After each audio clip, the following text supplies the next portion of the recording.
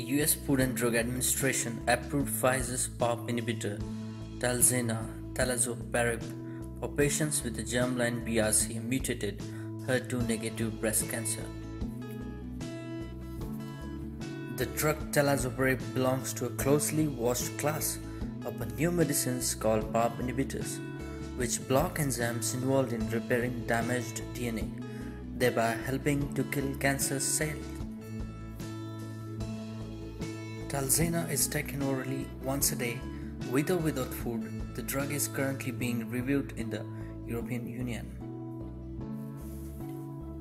The FDA's approval were based on results from the ongoing EMBRACA phase 3 trial, which evaluated the safety and effectiveness of 1 mg of Talzenna compared to physician choice of chemotherapy including capecitabine, eribulin, gemcitabine or vinorelbine patients with inherited BRCA mutated HER2 negative locally advanced or metastatic breast cancer.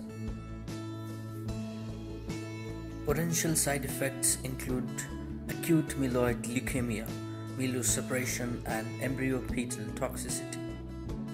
The most common side effects were fatigue, anemia, nausea, neutropenia, headache, thrombocytopenia, vomiting, alopecia, diarrhea, and loss of appetite. These results highlighted a 46% reduction in the risk of cancer progression or death with the Talzenna use. The FDA approved Myriad Genetics diagnostic test to identify breast cancer patients who are eligible for Pfizer's talazoparib. So this was all about Pfizer's breast cancer drug Talzenna. Thanks for watching this video. Please like this video and share this video with your friends and please stay tuned with the Pharma Digest. Thank you.